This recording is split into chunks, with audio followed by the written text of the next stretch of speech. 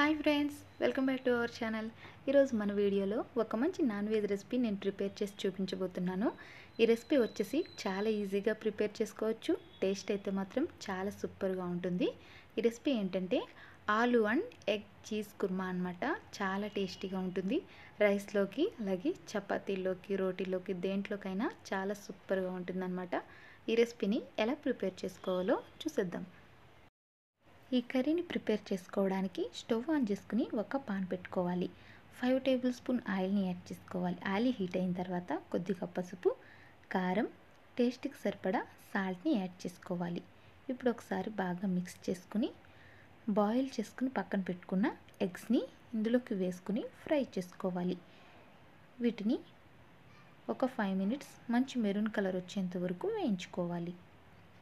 చూడండి ఎగ్స్ బాగా వేగిపోయాయి కదా. ఇప్పుడు వీటిని ఒక బౌల్లోకి తీసేసుకుని పక్కన పెట్టేసుకోండి.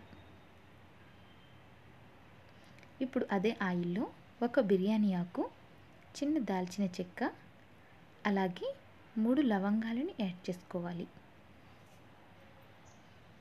ఇవి కొంచెం వేగిన తరువాత చిన్నగా కట్ చేసుకున్న రెండు పచ్చిమిర్చిని యాడ్ చేసుకోవాలి.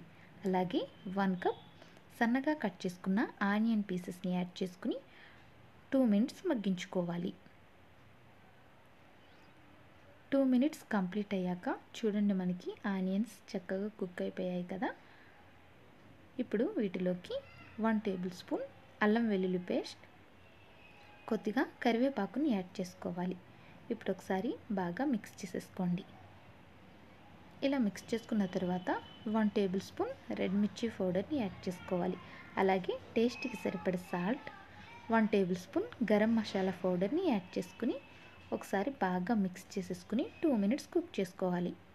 టూ మినిట్స్ కంప్లీట్ అయిన తర్వాత కొద్దిగా వాటర్ని యాడ్ చేసుకుని ఒకసారి బాగా మిక్స్ చేసేసుకోండి.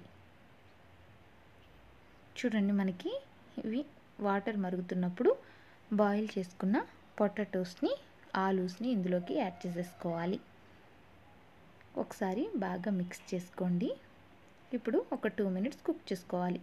చూడండి మనకి టూ మినిట్స్ కంప్లీట్ అయ్యాక ఆయిల్ అంతా కూడా సెపరేట్ అయిపోయింది కదా.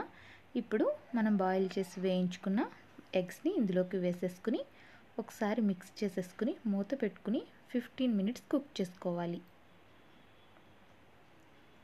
ఫిఫ్టీన్ మినిట్స్ కంప్లీట్ అయ్యాక ఒకసారి మధ్యలో మూతను తీసుకుని ఈ విధంగా ఒకసారి కదుపుకోవాలి. చూడండి మనకి కర్రీ అయితే రెడీ అయిపోయింది. ఇప్పుడు ఫైనల్గా వన్ టేబుల్ స్పూన్ చీజ్ని యాడ్ చేసుకోండి. ఈ చీజ్ మనకి వేడికి తొందరగానే మెల్ట్ అయిపోతుంది. ఒకసారి ఇలా మిక్స్ చేసేసుకుంటే సరిపోతుంది. చూసారు కదా వేడివేడిగా aloo and egg cheese curry ready అయిపోయింది. చూసారు కదా వాటర్ ఏమీ లేకుండా ఈ ప్రాసెస్లో మనం ప్రిపేర్ చేసుకోవాలి. ఇప్పుడు స్టవ్ ఆఫ్ చేసేసుకుని ఒక సర్వింగ్ బౌల్లోకి సర్వ్ చేసేసుకోవడమే. చూసారు కదండి ఎంతో టేస్టీగా చాలా ఈజీగా aloo and egg cheese kurma ready అయిపోయింది. టేస్ట్ అయితే మాత్రం చాలా చాలా బాగుంటుంది.